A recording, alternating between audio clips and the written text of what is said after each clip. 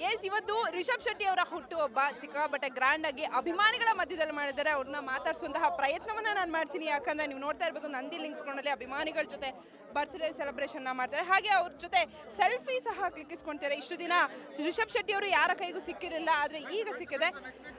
Sir many more happy returns of the day ಅಭಿಮಾನಿಗಳ ಜೊತೆ birthday celebration ಮಾಡ್ತೀರಾ? ಹೇಗೆ ಚೆನ್ನಾಗಿ ಅನಿಸ್ತಾ ಇದೆ ಅಂದರೆ ಸಿನಿಮಾ ಕಾಂತಾರ ಆದಮೇಲೆ ಅವ್ರು ಮೀಟ್ ಮಾಡೋಕ್ಕಾಗಿರಲಿಲ್ಲ ಸೊ ಐ ಥಿಂಕ್ ಇದೊಂದು ಸರಿಯಾದ ಸಮಯ ಅಂತ ಅಂದ್ಕೊಂಡು ಇವತ್ತು ಎಲ್ಲರನ್ನ ಭೇಟಿ ಮಾಡುವಂಥ ಕೆಲಸ ಮಾಡ್ತಾ ಇದ್ದೀವಿ ಸರ್ ಇದೊಂದು ಖುಷಿ ಸಮಯ ಅಂತ ಹೇಳ್ಬೋದು. ಇಷ್ಟೊಂದು ಜನ ಅಭಿಮಾನಿಗಳು ಕ್ರೌಡು ಮಧ್ಯಾಹ್ನ ಒಂದು ಗಂಟೆಯಿಂದನೇ ನಾವು ನೋಡ್ತಾ ಇದ್ದೀವಿ ಇಷ್ಟೊಂದು ಜನ ಸಾವಿರಾರು ಜನ ಸೇರಿದ್ದಾರೆ. ಈ ಮೂಮೆಂಟ್ ಹೇಗೆ ಅನ್ಸುತ್ತೆ? ಹಾಗೆ ನಿಮ್ಮ ಫೌಂಡೇಶನ್ ಸಹ ಓಪನ್ ಆಯಿತು. ನಿಮ್ಮ ಮಡದಿ ಸರ್ಪ್ರೈಸ್ ಗಿಫ್ಟ್ ಸಹ ಕೊಟ್ಟಿದ್ದಾರೆ. ಹೇಗೆ ಅನಿಸುತ್ತೆ? ಇಲ್ಲ ಅವರು ಜನರೇ ಕೊಟ್ಟಿರುವಂಥದ್ದು ಅಂದರೆ ಇದು ಅವ್ರು ಕೊಟ್ಟಿರೋದನ್ನ ಅವ್ರಿಗೆ ಕೊಡ್ತಿರುವಂಥ ಕೆಲಸ ಅಷ್ಟೇ. ಕೆರೆ ನೀರನ್ನು ಕೆರೆಗೆ ಚೆಲ್ಲಿ ಅಂತಂದಂಗೆ. ಜನರೇ ಕೊಟ್ಟಿರುವಂಥ ಭಿಕ್ಷೆ ಸೊ ಅದೇ ಇವತ್ತಿನ ಯಶಸ್ಸು ಇದೆಲ್ಲವೂ ಕಾರಣ ಆಗಿರೋದು. ಹಾಗಾಗಿ ಒಂದು ಫೌಂಡೇಶನ್ ಮುಖಾಂತರ ಅವ್ರಿಗೆ ಏನಾದರೂ ಒಂದು ನಮ್ಮ ಕಡೆಯಿಂದ ಎಷ್ಟಾಗುತ್ತೆ ಅಷ್ಟು. ತುಂಬ ಏನೋ ದೊಡ್ಡದಾಗೇನೋ ಮಾಡ್ತೀವಂತಲ್ಲ. ಎಷ್ಟು ಸಾಧ್ಯತೆ ಇದೆ? ಎಜುಕೇಷನ್ ಆಗಲಿ, ಒಂದಷ್ಟು ಹಿಂದುಳಿದ ಸಮುದಾಯ ಆಗ್ಬೋದು, ಕೆಲವೊಂದಷ್ಟು ಬುಡಕಟ್ಟು ಸಮುದಾಯಗಳು, ಕಾ, ಒಂದು ಕಾಡಂಚಲಿರುವಂಥ ಜನರಾಗ್ಬೋದು.